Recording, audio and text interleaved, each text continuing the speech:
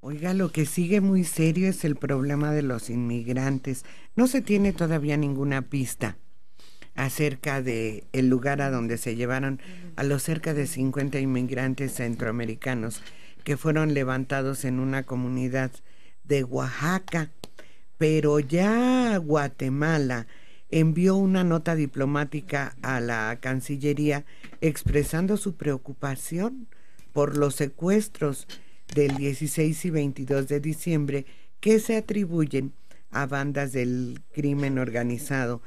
Pero yo no quiero pensar qué va a ocurrir si Guatemala, Honduras y El Salvador se unen en un reclamo único al gobierno mexicano, sobre todo porque en El Salvador hay como, como mucha violencia reprimida ya en el interior del país y eso puede estallar y buscar un punto de salida que puede ser su relación con México. Pues sí, muestra a un, gobierno incapaz de controlar lo que sucede en ningún ámbito, prácticamente ya de eh, como pues tiende el gobierno federal a culpar o a situar la responsabilidad del orden en cada estado a las autoridades locales, pues resulta que si se surge ese reclamo que puedan plantear ante organismos internacionales esos países, el gobierno mexicano no va a poder dar ninguna respuesta, porque simplemente ha perdido el control de la situación de la seguridad del país. Y desde luego Guatemala reitera su interés en que haya mecanismos de protección a los migrantes. Sabemos que están ilegalmente en el país. Sabemos que rompen con las leyes que autorizan la entrada legal al país, eso nos queda muy claro, pero de cualquier forma son seres humanos y el reclamo que nosotros hacemos a los Estados Unidos para el trato a los mexicanos que van a esa tierra, pues por lo menos debe ser el mismo que se otorgue a los que de Centroamérica pasan en nuestro país sin papeles. Y ya y ya queda en evidencia que es más cruel el trato que reciben aquí los, los migrantes que van de paso porque caen en manos de estos delincuentes en Estados Unidos que ya ocho estados están imitando a Arizona y luego aunque El Salvador parece ser el más el país más agredido y más eh, dolido por lo que ocurre aquí en México.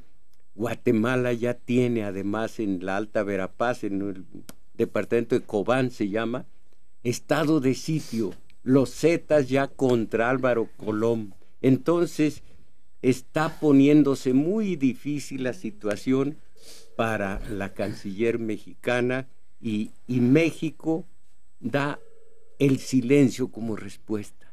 Pues sí, porque además no puede dar otra respuesta. Se ha propuesto que a estos migrantes que solo van de paso, son eh, migrantes en tránsito, se les dé una especie de visa de tránsito y que en lugar de detenérseles, se les escolte, se les cuide y se les conduzca a una zona cercana a la frontera de Estados Unidos donde puedan actuar ellos ya por su propio albedrío, es decir, pueden regresar si quieren o pueden tratar de cruzar la frontera. Es decir, México debe renunciar a su papel de, filtro o de, guardián de la frontera de Estados Unidos, la frontera sur de Estados Unidos. Y simplemente eh, para evitar estas atrocidades, pero, cuidar a los no no pero Mario migrantes. yo creo que ahí el, el, gobierno de México al encontrar un grupo de inmigrantes que no cuenta con papeles para entrar a México, lo que debe hacer es regresarlos a su país. Eso es lo que hace. Eh, pero, eh, ¿qué, ¿qué, hacen estas personas? A ver, Mario. Se buscan una forma de que hacerlo de una clandestinidad más, eh, más profunda para evitar ser detectados por las autoridades mexicanas. A ellos les interesa llegar a Estados Unidos. Si la autoridad mexicana los detecta y los devuelve, ellos buscarán la forma de pasar desapercibidos o inadvertidos ante la policía mexicana. Y esto los hace hundirse más en la clandestinidad y quedar a la merced de los grupos delictivos. Es decir, esta migración debe ser abierta. Ellos son, no van a quedarse aquí. pero tampoco puedes legalizar ni proteger un acto así ilegal. Así es, así es. Entonces eh, el problema no se va a resolver. Punto.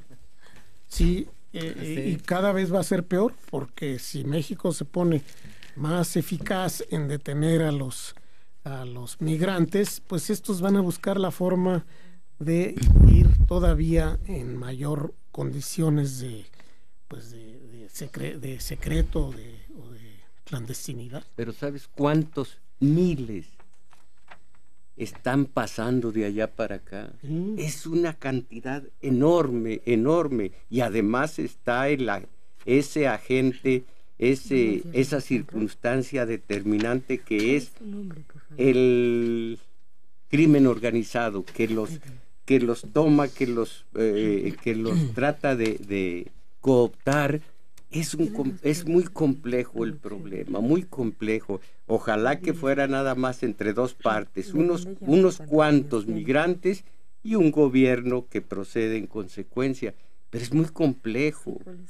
Eh, son muchos. Está el crimen organizado, están los polleros, está la debilidad del Instituto eh, Federal de Migración, hay muchos factores y ese es el resultado hoy día. Sí, pero este problema no va a quedar aquí.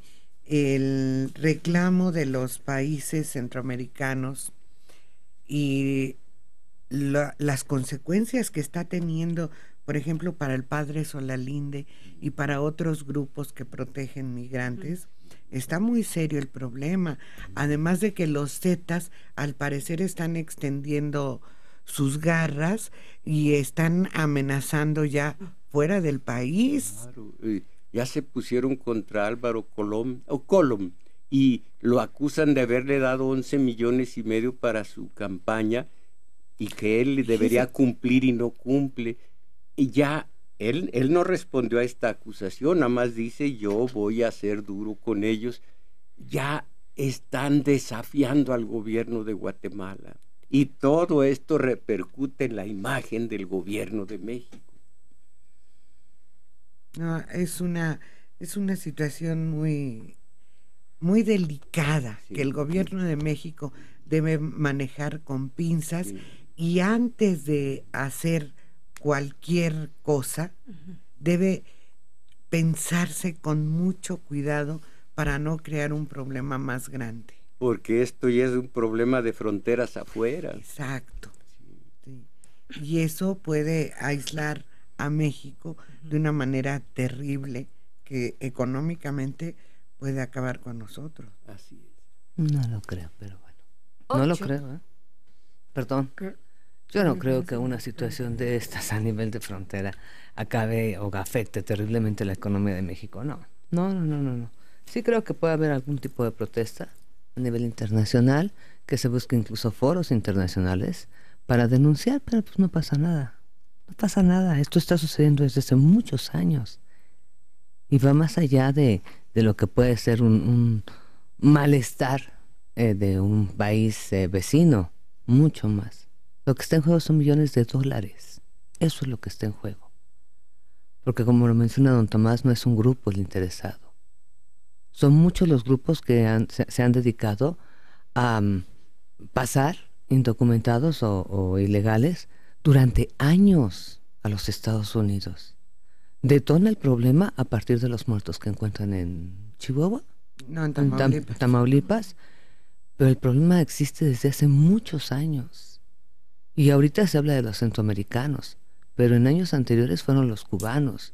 Y había cubanos eh, eh, ya radicados en, la península, dedicados a recibirlos y a llevarlos hasta la frontera. De aquí, de la Ciudad de México, se llevaban cubanos y entraban por, por Tampico. Maulipas, dijiste. por allí entraban. Muchos de ellos están ahorita en la Florida y hacían el contacto aquí con polleros no mexicanos, cubanos. El problema es enorme y tiene años. Y el, el, que el grupo que no era detectado o interceptado por los mismos grupos de delincuentes que negociaban llevarlos hasta allá. Y aquí falló, no sé por qué, pero si recuerdan, se perdió un autobús lleno de, de ilegales y luego aparecieron en la Florida. Ninguno murió, pero fueron secuestrados, entre comillas, y aparecieron allá. Quiere decir que estos grupos tienen más poder y más facilidades, o tienen mayor, mayores convenios con las autoridades de la frontera norteamericanos que permiten el paso de ilegales. Porque esto no es de la frontera sur de México y, que se rompió el acuerdo con los Zetas y todo esto, y por eso hay tanto problema. No, esto es de frontera a frontera. Y así como hay eh, empleados en la frontera de México, hay eh, de México con, Centroamérica, hay empleados de México con los Estados Unidos y ellos son los que permiten la entrada. Va mucho más allá el problema de, va a quedar mal para México, por favor. Mal parados si somos ahorita el aborto dentro de la comunidad internacional. Somos señalados. No, Estamos señalados en todas partes. Mexicano apesta donde llegas. Y te revisan hasta donde no porque temen que lleves droga. Y eso es en, la llegada a un país. Pero ya dentro del país, cuando circulas en Europa, por ejemplo, se te acercan los nativos y te dicen, mexicano, ¿traes droga?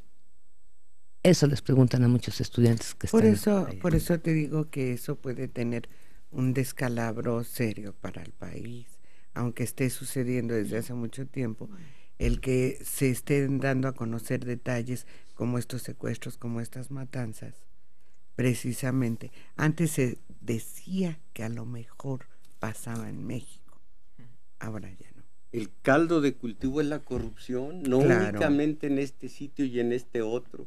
Eso ha potenciado todo el problema.